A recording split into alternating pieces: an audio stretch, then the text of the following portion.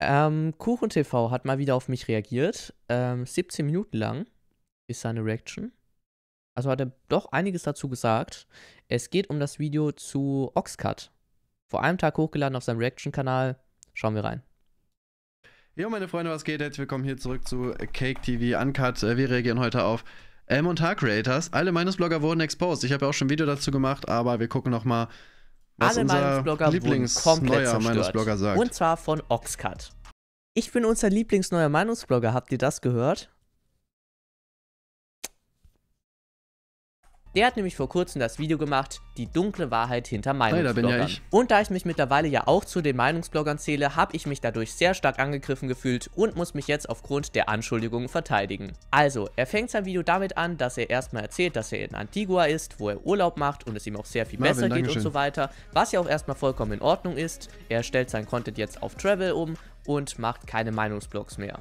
Allerdings fängt und möchte halt auch mit, mit Travel-Blogs das gleiche verdienen und sich von seiner Community die Reise bezahlen lassen. Er dann an, die dunkle Wahrheit hinter Meinungsbloggern aufzuzählen. Digga, wie kann das eigentlich sein, dass solche Leute wie Oxcut und so irgendwie, keine Ahnung, unendlich Geld haben, dass die einfach mal so über, über Monate durch die ganze Welt reisen, so ein paar Videos machen mit 3000 Klicks und das anscheinend davon finanzieren?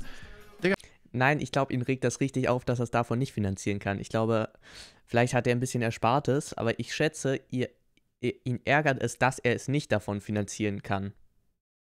Ich glaube, der, der hätte das richtig gerne und ist richtig enttäuscht, dass er das doch nicht hinkriegt. Ja, ich blick das irgendwie nicht. Ich reiß irgendwie nie.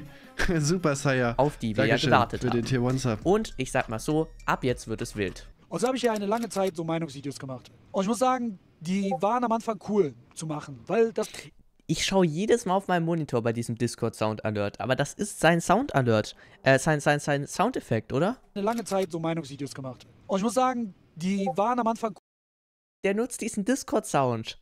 Das ist ja komplett verwirrend. cool zu machen, weil das ist einfacher Content. Das heißt, du stellst eine Kamera auf, du beschäftigst dich mit einem skandalösen, aktiven, trendigen Thema. Zum Beispiel Sinan-Thema so. Ihr wisst ja, was da passiert ist. Aber an Scripts muss man sich doch schon genau halten, relativ, oder an Stichpunkte, an Argumente und so weiter. So einfach ist es auch wieder nicht. Ich schätze mal so. Mh, so Unboxing-TikToks sind einfacher zu machen. Und dann stürzen sich alle Meinungsblogger drauf. Und es ist eigentlich fast schon garantiert, dass du viel mehr Klicks kriegst, als zum Beispiel, wenn ich jetzt in ein, Vi äh, ein Video poste und das heißt dann, ja, ich bin gerade hier mit meinem Hund spazieren. Und das ist halt vollkommen logisch. Wenn man irgendwas generisch Langweiliges in den Titel schreibt, wird das natürlich nicht so arg viele Klicks bekommen. Es geht ja eigentlich nur darum, für die Zuschauer irgendeine Form von Mehrwert zu erzeugen.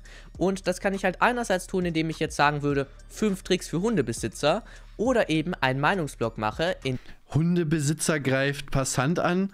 Heftig was passiert. Polizei wurde.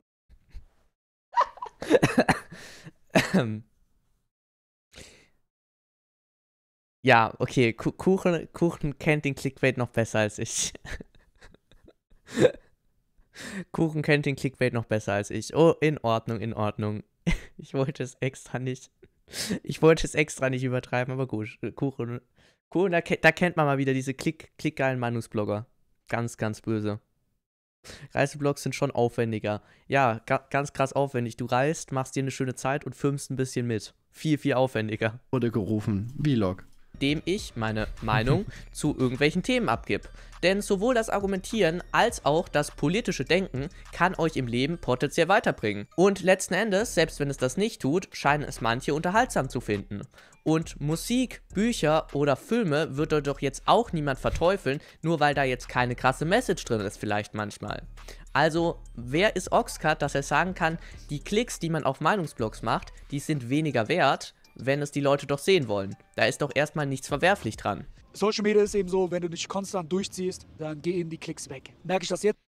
Das konstant durchziehen ist halt auch so ein Ding. Ich meine, das musst du doch bei Reiseblogs dann genauso machen. Was ist denn das für ein Argument? so auch, ich mache jetzt anderen Content ein bisschen, was ein bisschen vielleicht einen anderen Mehrwert hat, meiner Meinung nach, und viel höheren Mehrwert, so in meiner Ansicht so, weil diese Videos bleiben für immer, die inspirieren Menschen für immer und nicht nur, Also, wenn ihm Meinungsblogs nichts mehr geben und er lieber Reisecontent machen möchte, ist das doch vollkommen okay.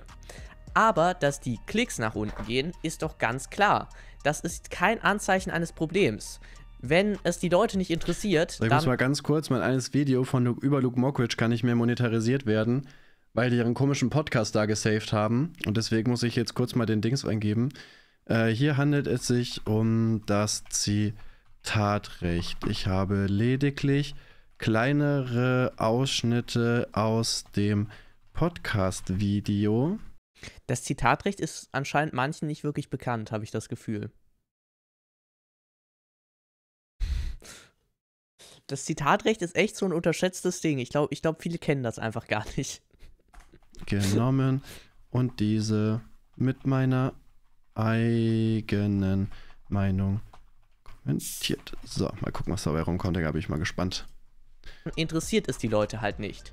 Und Debatten, wie Kuchen einfach was ganz anderes macht, ja, aber er muss ja gerade kurz den Einspruch einlegen, sind nicht sinnlos. Die gab es schon immer und gerade in einem politischen Bereich ist das natürlich nochmal relevanter, aber auch in unserem YouTube-Bereich lernt man doch einfach zu argumentieren, über Dinge kritisch nachzudenken und so weiter. Und es kann ja sein, dass er das nicht möchte, dass das nicht seine Art von Content auf YouTube ist.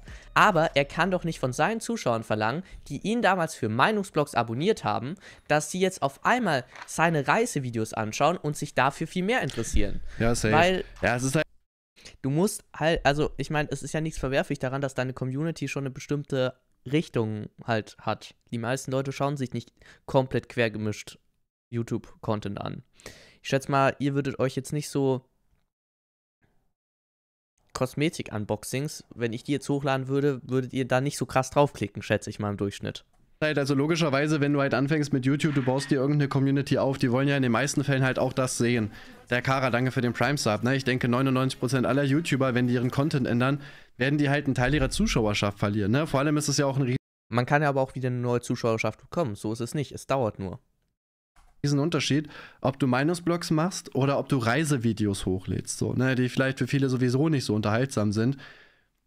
Ich habe jetzt ehrlich gesagt auch noch kein Reisevideo von Oxcut gesehen, würde jetzt aber Aber ich habe auch nicht das Gefühl, dass Oxcart so der krass lustige, unterhaltsame Typ ist.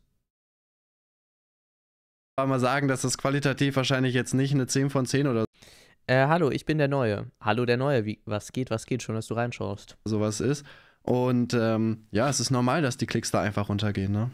Leute schauen gerne eine Sparte von YouTube. Und wenn er das nicht mehr bedienen kann, dann werden seine Klicks nach unten gehen. Und das ist dann nicht die Schuld des Zuschauers. Weil im Endeffekt redest du über einen Menschen. Warum schaut ihr David Brecht?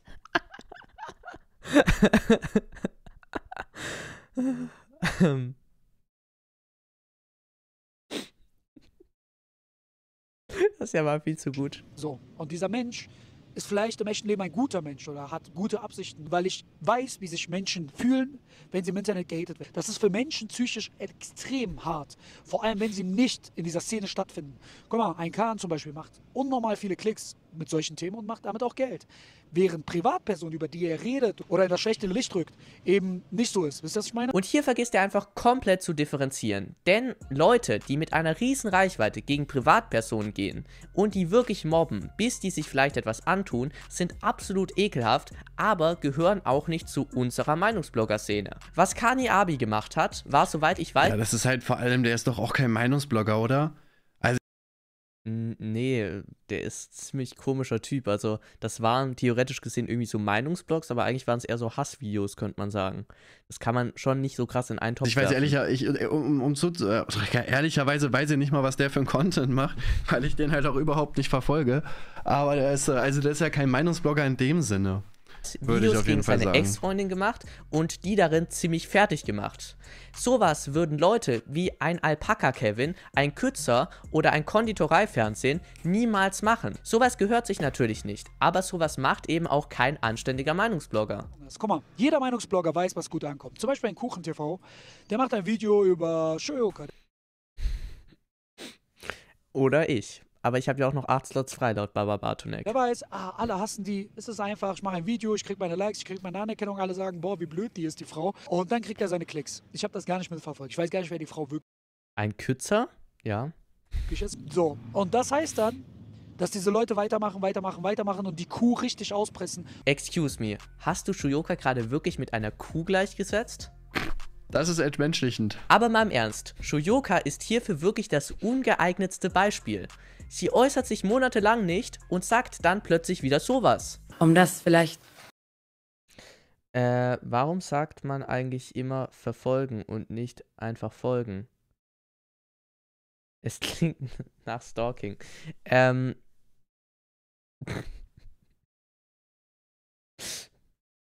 Mm, Das ist eine gute Frage. Das ist eine philosophische Frage, glaube ich. Genau das soll es auch. Ich sag mal, folgt mir, aber bitte nicht auf der Straße. einzuordnen. Für die Leute, die nicht wissen, wer Imp ist. Imp hatte unter anderem ein Format mit einem Neonazi. Also diese Person scheint es wirklich zu genießen, zerstört zu werden. Anders kann man sich das schon fast nicht mehr erklären. Ja. Und da habe ich gemerkt, okay, so funktioniert anscheinend die Szene. Ja, also ich meine, per se hat, hat Oxcart natürlich recht, ne? Bei Themen, die natürlich besser laufen, werden grundsätzlich, wenn man denn die Möglichkeit dazu hat, natürlich mehr Videos erstellt, ne? Aber man muss halt auch mal überlegen, wenn es mehr Klicks bekommt, interessiert es doch auch mehr Leute, was am Ende auch gut für die Zuschauer ist. Da ist ja auch nichts schlimm, schlimm dran, oder? Also, Wenn ich jetzt gesehen hätte, okay, die Shioka-Videos äh, kriegen die ganze Zeit gar keine Aufrufe, niemand guckt die, niemand feiert die, dann hätte ich wahrscheinlich schon weniger Videos gemacht, ist ja auch klar, weil ich klar bringt doch der Community auch nichts. Also, wa was hast du denn davon? Videos, die niemanden interessieren? bin ja auch davon, da, darauf angewiesen, dass ich halt eine bestimmte Klickzahl irgendwie auch erreiche. Ne? Ich muss ja irgendwie auch mein Geld machen, logischerweise, ne? ist ja klar. Ähm, so, aber es ist halt schwierig, immer so ein Beispiel zu nennen, weil Shoyoka hat natürlich auch gleichzeitig sehr viel dafür getan, dass sie eben auch so viele Videos abbekommen hat, ne? Oder ich sag mal, das ganze Thema ist halt einfach sehr aufgeblasen, ne? Wenn man mal überlegt, dass, keine Ahnung, Leute in, ähm, dass irgendwelche Journalisten super schlechte Beiträge dazu posten, andere YouTuber irgendwelche Lügen verbreiten und so. Also natürlich kommt dann dazu auch dementsprechend viel Content, weil das Thema auch einfach so groß gewesen ist, ne? Genau, Du musst einfach nur das nachplappern, was die Mainstream-Leute hören wollen. Und das ist sehr traurig, weil für mich war YouTube immer Leidenschaft. Mainstream ist so ein Quatsch. Kuchen TV war früher Anti-Mainstream, mittlerweile ist Kuchen sein eigener Mainstream geworden. Zum Beispiel das. Also, ich meine, Kuchen war doch vor, früher so voll krass Anti-Mainstream. Aber heute ist ja das, was Kuchen TV sagt, schon fast automatisch der Mainstream geworden. War YouTube immer Spaß und Also bei einigen meiner Videos war es mir im Vorhinein wirklich schon klar, dass die nicht so besonders gut ankommen werden. Zum Beispiel das zum Video von Rob Bubble. Sein Video war super bewertet, also werde ich wahrscheinlich einige Dislikes kriegen, wenn ich das Video kritisiere. Einige haben das auch getan und es hat auch einige negativ. Stimmt, äh, wir sollten nicht vergessen, dass KuchenTV eine Pipeline nach rechts ist. Ich meine, ihr müsst euch mal au- anschauen. Prolitopia war früher ein Linker. Dann hat er Videos gegen KuchenTV gemacht, bewiesen, dass er eine Pipeline nach rechts ist, indem er ganz viele Videos von ihm angeschaut hat. Und schon hat er sich eine Glatze rasiert und ist mittlerweile rechter geworden. Also in den Augen vieler. Negative Kommentare gegeben. Andererseits hat es einigen gefallen, dass ich eben eine andere Meinung dazu wiedergebe und eben dem Video nicht blind zustimme, sondern meine Meinung dazu abgebe. Natürlich kann man jetzt sagen, das ist nur bei mir so, aber zum Beispiel Videos zu der Thematik zwischen Leon Mascher und Stay.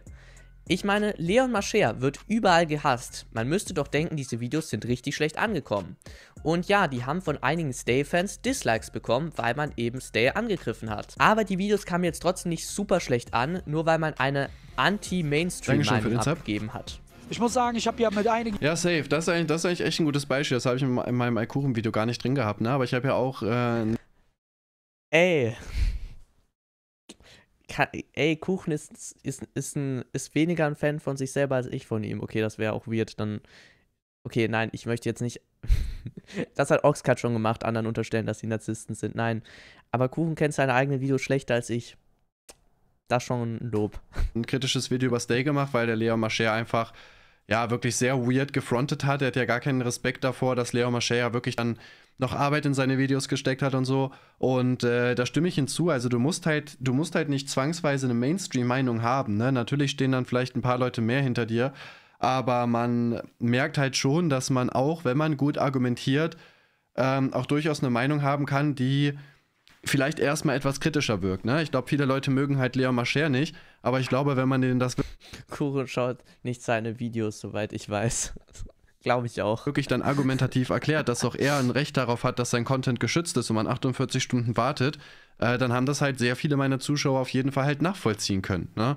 Also ich glaube, es ist eher wichtiger, wie man etwas argumentiert. Ne? Kommt natürlich auch ein bisschen auf die Meinung an. Ne? Also ich denke, es gibt, gibt wahrscheinlich so einige Themen, die halt, ähm, die schon schwieriger sind zu verteidigen, ne? Aber Die YouTuber schon stimmt, Kontakt. ich habe sogar mal Simex verteidigt, als die ihn gedoxt haben und so. Und da haben auch mir alle Leute zugestimmt. Da hat sogar Revi drauf reagiert gehabt. Aber die Meinungsblogger So klickgeil ist der auch nicht. Ja, ich la lasse immer auf all meinen Geräten so all meine Videos die ganze Zeit in Dauerschleife laufen.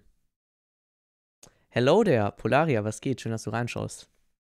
waren mit Abstand diejenigen, die am meisten auf Klicks geguckt haben, am meisten auf Likes, am meisten auf Anerkennung und dieses ganze Zahlentechnische. Meiner Meinung nach, die meisten von denen, mit denen ich Kontakt hatte, waren meiner Meinung nach komplette Narzissten. Die waren so überzeugt von sich, dass ich meistens bei den Telefonaten oder Schreibereien gemerkt habe, ich, ich, ich, die reden nur von sich selber. Ja, jetzt erklärt uns der Typ, der sich vorhin darüber beschwert hat, dass seine Videos jetzt weniger Klicks machen und der ganz anders ist als diese ganzen Narzissten. Warum die Meinungsblogger zu viel das Wort Ich verwenden. Schauen wir doch mal, ob er das auch ein, zweimal getan hat. bin ich gerade, ich bin einfach sich jetzt, sage ich mal, mache ich, mache jetzt, weil ich habe ich mir vorgenommen, wollte ich, merke ich, ich dachte mir, ich bin ich jetzt hier, dass ich einfach mal so, bin ich jetzt, ja, ich bin, das erlebe ich, ich habe mal und ich muss sagen, ich, dass ich, ich, ich bin auch nicht, aber ich habe die, ich mich die, aber ich habe auch, das habe ich auch, wenn ich mal, wenn nicht mal, wenn ich den, ich, ich, ich habe noch nie, werde ich auch so, ich mach's, ich will versuchen. Das kann man wirklich keinem erzählen. Ich dachte schon, ich hätte es zu lang reingeschnitten, aber Kuchen hat erst gegen Ende angefangen zu lachen. Ja, geil. Feier ich. Ja, der, der Vergleich hängt schon, der Vergleich hängt schon ziemlich, aber es ist irgendwo halt schon lustig, ne? Ich meine, klar, dass er. Äh, ich meine, da geht es ja wirklich darum, wenn man jetzt privat sich mit Leuten auseinandersetzt, dass es nur darum geht, irgendwie sich Rea Nico, come on. Come on, Rea Nico. Er hat gesagt, die reden zu viel von sich. Er hat, oder sagen zu oft ich. selber als Person Er hat, er hat konkret gesagt, die sagen die ganze Zeit nur ich. Ich habe mal gezeigt, dass man halt unabhängig davon, über was man spricht, selbst wenn man nicht von sich selber spricht, benutzt man das Wort ich die ganze Zeit. Also, man muss nicht von sich selber sprechen, um dauerhaft ich zu sagen. Das ist in der deutschen Sprache normal. Und so weiter zu pushen, ne, dass ähm, er natürlich halt auch sehr oft, ist ja sein Video einfach, ne, also öffentlich ist es natürlich nochmal was anderes, aber lustig zusammengeschnitten ist es halt trotzdem. erzählen. Oxcut, der Typ, der viel cooler ist als die ganzen Narzissten, erklärt uns in einem 16-Minuten-Video, dass andere zu. Ich finde schon, dass es ein schlechter Vergleich ist oder dass, dass man das nicht so oft benutzt. Oder was meinst du jetzt? Oft ich sagen. Und in diesem Video benutzt er das Wort ich nur so circa 3000 Mal. So, und Ist das ein Junge oder ein Mädchen? ich weiß nicht, wie meine Geschlechtsidentität heute war. diese Leute sagen mir das auch. Ich habe keinen Bock. Ja, also wie gesagt, ich habe ja auch mein Video dazu gemacht. Also ich finde es halt immer noch weird, beziehungsweise mich würde halt immer noch interessieren, was für mit was für Meinungsbloggern er überhaupt zu tun hatte. Also ich habe ja mal rumgefragt, ne? Also weder mit mir, noch mit Kaiser, noch mit Alpha Kevin, äh, noch mit Justin Nero, mit Sascha wahrscheinlich nicht, mit Alicia Joe nicht. Also wer bleibt denn da noch? Also ich glaube, die Vielleicht diese Bubble um ABK, das kann ja tatsächlich sein, aber das wären ja nicht die Meinungsblogger. Die einzigen Personen, mit denen er geredet hat, waren wahrscheinlich Ahmad und, ähm, und äh, hier, wie heißt er, äh, Tobias Huch. Und das war's. So, und äh, ja, oder von mir auch T-Tech oder so, ne? Oder irgendwelche Leute, die jetzt keine große Reichweite haben.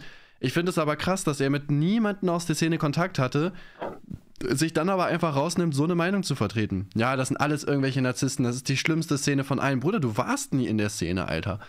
Das ist so, als wenn ich jetzt so mit einem Fußballer aus der Regionalliga gesprochen habe und sage, ja, Digga, diese ganzen, diese ganzen Fußballer in der Bundesliga und so, die Boah, sind so cool, DV so ein Narzisst. Wie, äh, merkt ihr, wie er sich selber gerade pusht? Ist so Narzisst. ultra arrogant und selbstüberzeugt, widerliche Leute. Ich will eigentlich was anderes machen. Aber die machen nichts anderes. Warum? Weil die damit Klicks machen. Weil sich die Leute, es klingt hart und da nehme ich mich nicht aus, die Leute interessieren sich für Fitner, nicht für dich als Creator. Ich weiß ja nicht, wie ihr das seht, aber den Abbau von Personenhype Dankeschön. finde ich eigentlich eine sehr positive Entwicklung. Früher hat man vielleicht einfach unkritisch einem ApoRed zugeschaut, bis dann eben ein... Ich glaube halt wirklich, dass er einfach nur selber Personenhype wollte. Ich glaube, ich glaube es wirklich. Ein Mimi aufgezeigt hat, wie falsch diese Person ist, wie er Leute gescammt hat, Leute abgezogen hat oder zum Beispiel eine Frau belästigt hat. Und daran ist doch eigentlich wirklich nichts nicht schlecht. in den- eine Person kritisch zu hinterfragen, geguckt, sollte doch immer besser sein, als ihr blind einfach hinterher zu rennen. Kuchen, Kuchen, Kuchen, Kuchen, selbst wenn. Guck doch mal hin. Hat oder zum Beispiel eine Frau. Guck doch mal hin. Es kann per Definition keine sexuelle Belästigung sein. Du kannst machen, was du willst. Das ist per Definition keine sexuelle Belästigung. Guck, Es sollte doch immer besser sein, als hier blind einfach hinterher zu rennen. Für mich persönlich wirkt das so, als würde er einfach gerne mehr Personenhype haben. Also, dass ihm alle einfach folgen, egal was er macht, seine Videos anschauen und so weiter. Kann ich ihm jetzt natürlich nicht unterstellen, aber nach allem, was ich gesehen habe, ist das der Eindruck, den ich gewonnen habe. Vielen Leuten, mit denen ich mal Ja, wirkt auf jeden Fall so, ne? Also gerade wenn man mal guckt, ich glaube, seine Klicks sind auf jeden Fall auch gut gesunken, seitdem der keine Meinungsblogs mehr macht, was ja auch klar ist. Kann halt sein, dass er da auch einfach so ein bisschen Aber auch in seinen Meinungsblogs hat er teilweise schon etwas weirde Meinungen vertreten. Die Sache mit Tobias Huch war ja auch super seltsam. sauer ist oder sowas, ne? Dass er sich auch so denkt, so, ey, eigentlich. Äh, eigentlich hätte ich gerne weiter mit diesen Meinungsblogs gemacht, wobei ich gucke gerade mal. Ja gut, er hat in den letzten Monaten schon generell sehr, sehr wenig, ähm, sehr, sehr wenig Videos hochgeladen auf jeden Fall. Aber ich denke auch, dass das halt so ein bisschen vielleicht auch dieser Neid ist so. Ich finde dieses Argument selber eigentlich extrem dumm, weil ich das früher immer selber Wenn kritisiert andere was anderes behaupten, haben sie einfach Unrecht. Danke für den Like. Aber er sagt, Like, Follow. ja auch, ja, man wird nur für die Themen gefeiert und so. Also ganz ehrlich, warum, warum hat da nicht jeder Meinungsblogger eine Million Abonnenten? Warum gibt es viele Meinungsblogger, die eine kleine Reichweite haben? Es kommt ja auch noch immer drauf an, wie dein Schnittstil und wenn alles jemand ist. komplett dumme Aussagen Wer ist die Frau da? Mit wem redet der? Sub von Rainer unterstrich K. Rainer K., danke für dein, für dein, äh, für dein Sub. Sprechen ist nicht heute meine Stärke. So, es kommt doch trotzdem immer noch darauf an, dass du die Videos auch wirklich unterhaltsam machst, sodass die Leute auch immer noch Spaß haben, die zu gucken. So, einfach nur die richtigen Themen anzusprechen, reicht halt nicht. Du musst halt auch unterhaltsam sein. So, und Oxcart war halt immer so, ja, der, dem fehlt so dieses Alleinstellungsmerkmal. So, ne? Mag sein, dass der ein paar Videos hat, die halt ein bisschen mehr Klicks bekommen haben. Natürlich ist es als Meinungsblogger per se einfacher. So, auch ein schlechtes Video über Shoyoka oder so wird halt äh, gute Aufrufzahlen haben, so, ne? Zumindest am Anfang. So, ich denke mal, das ist halt klar, aber ähm, wenn es halt so einfach ist, dann müsstest du es ja auch locker easy schaffen, damit erfolgreich. Übrigens, Kuchen hat deine Cam- und Videoqualität gelobt. Ach so, wann hat, wann hat er das gemacht? Okay, krass. Wann war das? Okay. Wild. zu werden und genau das ist ja einfach nicht passiert. schlecht war oder so, mit dem bin ich auch mittlerweile gut. Ich mag die meisten Leute. So, außer Tobias Huch. Der bleibt für mich eklig. Also allein seine Haltung und so. Ich will mit solchen Menschen komplett gar nichts mehr zu tun haben. Die anderen Leute, da könnte man noch so drüber reden, ob man da Okay, cool. Du verurteilst also Meinungsblogs, weil die Person sich ja persönlich angegriffen fühlen könnte.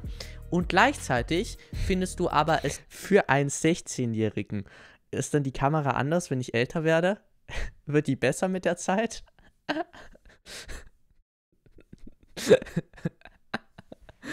Altert die so mit und wird immer besser? Also ich glaube eigentlich nicht. Ist legitim, Tobias Huch ekelhaft zu nennen. Vor allem sagt er, ja, wir Meinungsblogger sind alle narzisstisch, komplett ich-bezogen.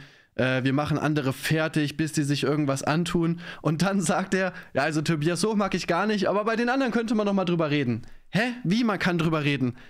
Ich denke, wir sind alles Narzissten. Jetzt auf einmal dann doch wieder nicht, oder was? Da will er sich dann doch noch die Tür offen halten. So, ja, vielleicht kann man ja noch mal Kontakt mit denen aufbauen. obwohl du doch auch nicht wissen kannst, ob die Person vielleicht privat ein guter Mensch ist.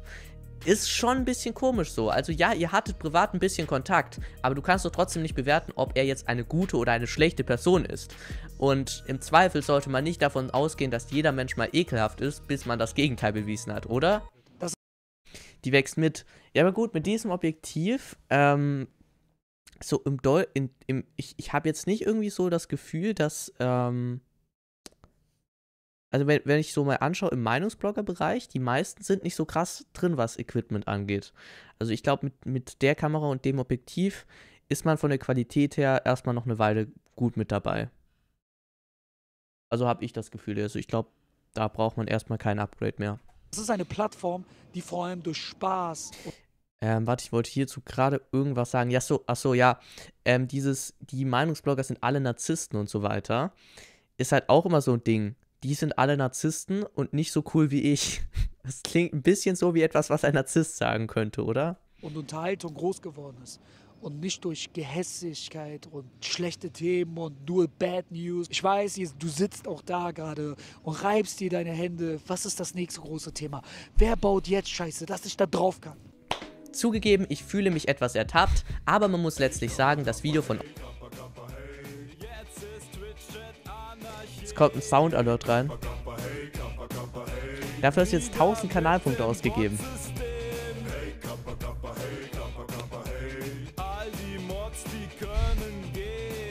So, ich mach, ich mach die jetzt, ich mach's mal wieder leise für die YouTube-Reaction. Oxcut ist auch nichts anderes als ein Meinungsblog.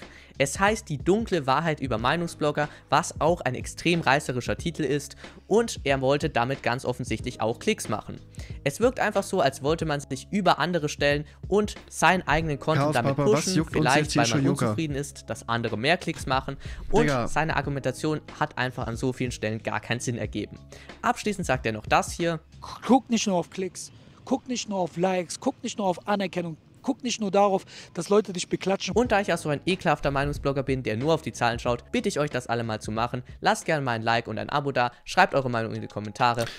Ja, wie gesagt, ich finde das Ende von seinem Video auch halt sehr, sehr komisch, ne? Also, warum sollten wir. Also, er hat ja auch in dem Video gesagt, ja, ihr habt doch alle ja gar keinen Spaß daran, ich habe mit vielen geredet, die müssen das nur für die Klicks und so machen. Wie gesagt, er hat ja nicht mal mit den Leuten geredet und mit allen Meinungsbloggern, mit denen ich Kontakt Ich jetzt wusste gar nicht, was das auslöst. Ja, das löst hier einen Sound Alert aus. hatte, wir haben auch Spaß an dem Content. Also, ich finde gerade, ich würde schon sagen, dass man merkt, ob Pol- Leute Polarier Bock darauf haben, das, was sie machen, oder ob die keine Lust darauf haben. Ne? Beispielsweise, keine Ahnung, wenn man halt wenig motiviert ist, dann wirst du auch wenig Kreativität reinstecken. So, dann machst du vielleicht auch weniger Videos oder Ja, Motivation ist sehr, sehr wichtig. Also, wenn, wenn dir die Videos gar keinen Spaß mehr machen würden, würde ich mich nicht. Mm, um, um so ein Video zu schneiden, was so 13, 10 bis 13 Minuten geht, braucht man schon so 5 Stunden. Meistens bis in die Nacht rein. Am letzten Abend noch. Also gestern war ich bis 4 Uhr wach, bis ich mein Video hochgeladen hatte. Und Thumbnail dauert auch immer noch mal eine Weile. Das würde ich nicht machen, wenn das der Content wäre, der mir überhaupt keinen Spaß macht. ähm, du machst halt sehr, sehr banale Videos irgendwie, ne? Die, die super austauschbar sind irgendwie. Dein eigener Charakter geht halt weg, ne? Oder man, keine Ahnung, macht, ja, macht weniger Streams oder so. Ich streame jetzt auch gerade nicht so oft, aber es hat andere Gründe. Ich Ich, habe schon noch Bock auf jeden Fall. Ne? So. Und ich glaube, weil er so sein Content geändert hat, erwartet er das jetzt anscheinend auch von allen anderen so. Ich, ich verstehe das halt nicht, ne? Äh, gutes Video von Hugo, wann gibt es Talk zwischen euch? Ey, ich bin jederzeit bereit. Wir können das gerne auf jeden Fall mal machen. Ich habe ihm auf Twitter schon gesagt, dass ich da Bock drauf habe. Klar, warum nicht? Äh, können wir gerne machen. Ja, gutes Video, lasst auf jeden Fall ein Like da. Dann, ähm, Ähm, hab auch schon privat Kontakt mit ihm. ja, gucken wir mal, ne? Ja, auf jeden Fall. Ähm, machen wir. Ey, das hat ja ein paar Dislikes bekommen. Okay, krass. Ähm, Talk mit Kuchen TV ist, ist, ähm, so halbwegs, so halbwegs haben wir, haben wir bereits jetzt eine Zeit ausgemacht. Äh, sieht so aus, als wäre es quasi übernächste Woche. Ich weiß noch nicht wann genau, aber wir machen es auf jeden Fall. Wenn andere was anderes behaupten, haben sie einfach Unrecht. Danke für den Follow. Und schaut unbedingt bei dem Video von Kuchen TV vorbei. Link ist in der Videobeschreibung. Und ähm, Twitch ist hier oben verlinkt. Lasst ein Abo auf dem Zweitkanal da. Wir sehen uns.